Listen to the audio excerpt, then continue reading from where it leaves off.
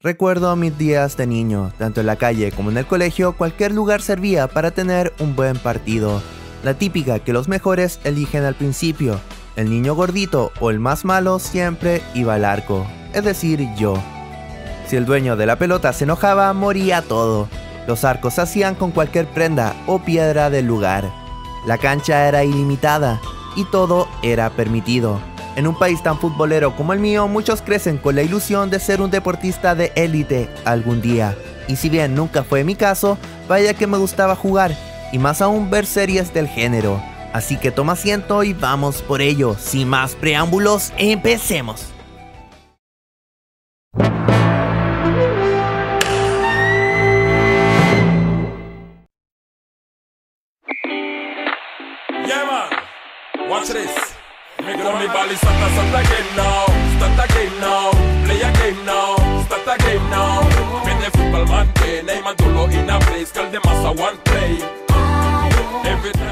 Fútbol callejero de esas series que muchos vieron, pero que muy pocos le siguieron el hilo. Como siempre, el factor Latinoamérica pesaría bastante al no seguir siempre un orden. Pero viéndola hoy en día, uff, tiene varios aspectos interesantes.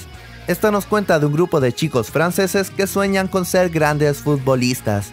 Estos viven en un internado y si bien tienen bastante calle, desconocen todo el potencial que tendría el fútbol callejero y toda la cultura que hay al respecto. Desde el vamos debo decir con total agrado que para no ser un anime da cátedra de cómo no depender netamente de los partidos, pues estos mismos duran un tercio de cada episodio, porque así como en la vida real hay muchísimas cosas más, pues en nuestros personajes el talento ya estaba, por lo mismo debían tener otras problemáticas, y vaya que sería así. Si analizamos el contexto sabemos que ese internado es bastante precario, y hasta en cierto sentido tiene un aire a orfanato, porque a diferencia de los gemelos que podemos ver a sus padres un par de veces, Sesos y Tag viven completamente solos. Por su lado el chico de las greñas tiene a su madre en otra parte del mundo, y si hablamos del capitán, ni siquiera lo sabemos. Él dice que está mejor solo, pero hasta el final de temporada se mantendría como secreto.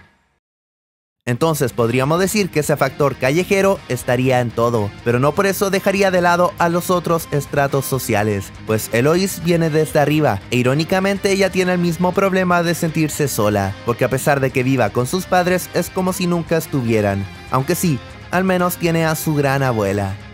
¿Y qué pasa con el juego? Uf, la serie respira deporte, respira fútbol, respira goles, porque dentro del contexto que es tan deprimente, la pelota sería la luz al final del túnel, y pues la misma les abriría a todo un mundo, a nuevos retos, nuevas metas y nueva gente por conocer. Me encanta cómo este gremio y sus integrantes les abren las puertas, a pesar de verse muy rudos, muy duros, y es que así es la ley de la calle. Aún así nos daríamos cuenta que tras esa fachada hay personas, hay historias y hasta el más temible equipo terminaría siendo uno de los más grandes aliados. ¿Cómo no recordar a los Street Sharks? Que al principio eran los supuestos rivales directos, pero no, terminarían siendo un gran apoyo para nuestros protagonistas.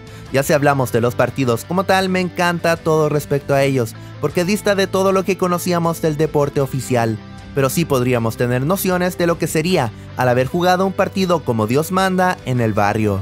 Entonces todo valía, pues había que convivir con el entorno, con las personas que pasaban, con las malas mañas y trampas que podían haber. En pocas palabras, lo único que no se permitía era el contacto físico, que sí, igual hay personas que no respetarían esto, pero ya lo veremos más adelante. Entonces la primera parte es para contarnos cómo el equipo se conforma, y cómo logra meterse a este primer campeonato local. En un inicio el portero era Tony, pero por sus constantes traiciones sería vetado de los Riflers, y posteriormente llegaría a Eloise para tomar su puesto.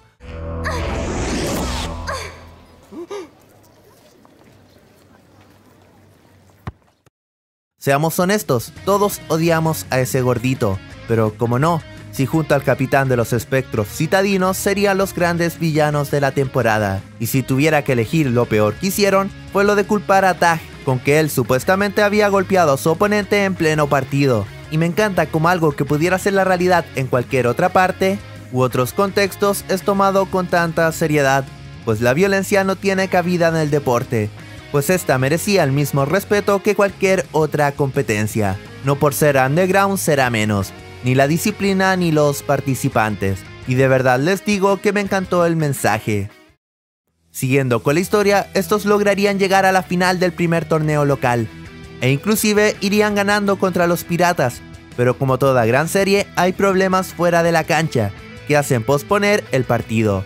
Aquí hay varios detalles, el primero y que sería la constante en toda la serie, es que tanto la policía como los vecinos del lugar parecieran odiar el fútbol, porque para ellos son la peor escoria.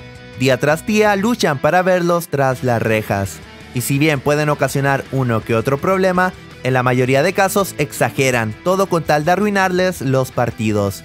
Incluso otro de los grandes villanos sería el mismo alcalde, que odia todo lo relacionado con el tema. Y si bien también era la parte cómica, no dejaba de ser molesto, porque es la autoridad, y vaya que lo hacía notar.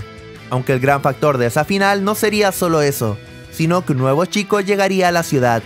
Este viene de Senegal junto a toda su familia, y como ya imaginan sufriría lo que todo emigrante.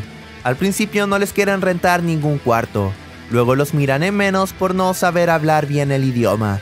Y por último, en una de las tantas redadas en medio de un partido, de todos los presentes, él fue el único arrestado, y eso que ni estaba participando. Ya ven, el racismo, el clasismo, la xenofobia siempre tiene la misma cara. Y sí, imagínense sumar miles de factores a una serie que ya da por hecho que su gran atractivo es el fútbol, simplemente hay que valorarlo. Ya en esa final perderían, y me gusta porque no todo es ganar, y aparte nos demostraba lo bueno que son los otros equipos, cualquiera puede ganar, inclusive a nuestros héroes. Luego de aquello aparecería un gran factor, nuevo en la época, la tan mítica Internet, y gracias a ella se empezaría a generar un gran torneo internacional, obviamente con sede en Francia. Si bien es bastante fantasioso y es el factor increíble por así decirlo, ya sea por el tema monetario, logístico u oficial que pueda acontecer, me basta con decir que UNICEF está organizando todo. Al menos es algo. Desde ese entonces la serie no pararía, porque las calles del pueblo parecieran tener vida, llenas de equipos, todos jugando, miles de personajes importantes y que se les daba el merecido tiempo en pantalla.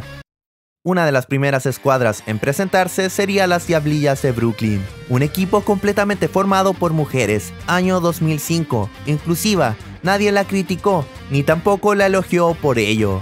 Simplemente se daba como algo normal, y siento que esa es la idea. Ellas darían uno de los mejores partidos, dejando su nombre bien en lo alto. Algo que me olvidaba mencionar es que todos los equipos, a pesar de que ganen o pierdan, siguen estando presentes hasta el final, porque al fin de cuentas es un movimiento que todos quieren ver crecer.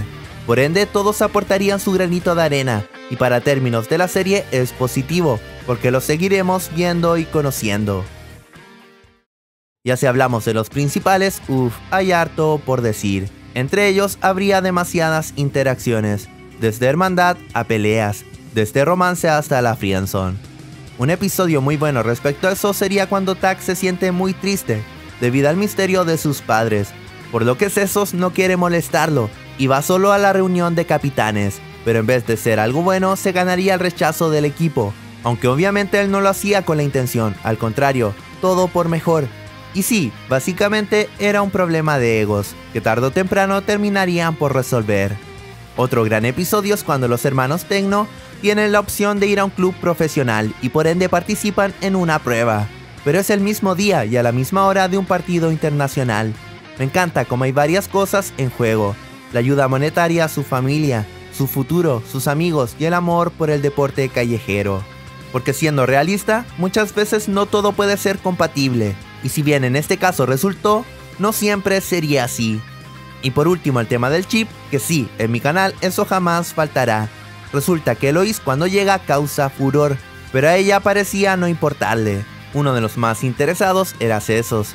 Este se la jugaría en varias ocasiones, hasta que caería la tan temida Frianson, porque a la portera de los azules le gustaba Tag.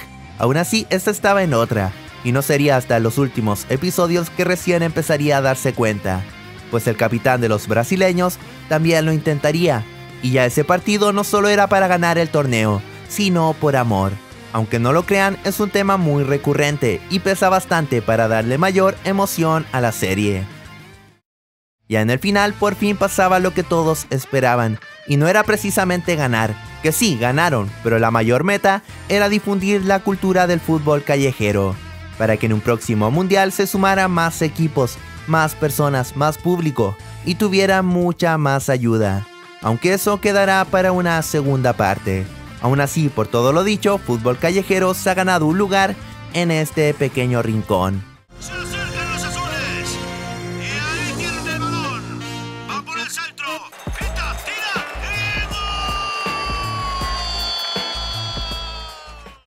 Y hasta gente, espero que les haya gustado. Déjenme en los comentarios qué les pareció. Y si quieren ver la segunda temporada, este video debe llegar a la suma de 4000 sabrositos. No se olviden que pueden visitar mi otro contenido para ver más videos así. De antemano, muchas gracias a todos los que hacen esto posible. Así que un saludo a los miembros del canal. Cada día somos más maestros y espero que seamos muchos más. Aquí el anónimo y nos vemos.